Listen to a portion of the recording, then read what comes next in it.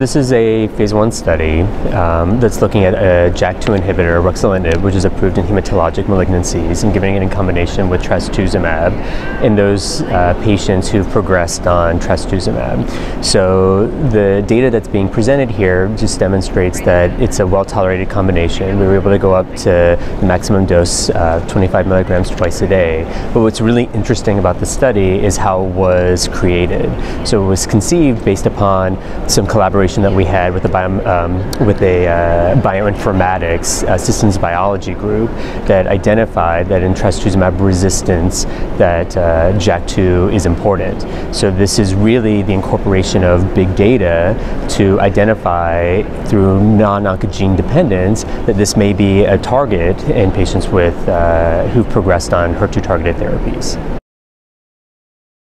We've accrued 10 evaluable patients and we've identified that it's a well-tolerated combination. There were no unexpected toxicities. So that's really the data that have been, those are really the data that have been presented here. But the study's ongoing. Uh, we ran um, straight into a phase two and um, those data, uh, this is a multi-center trial um, that we're hoping to complete relatively soon so that we can see whether or not there continues to be a signal with JAK2 inhibition in this disease.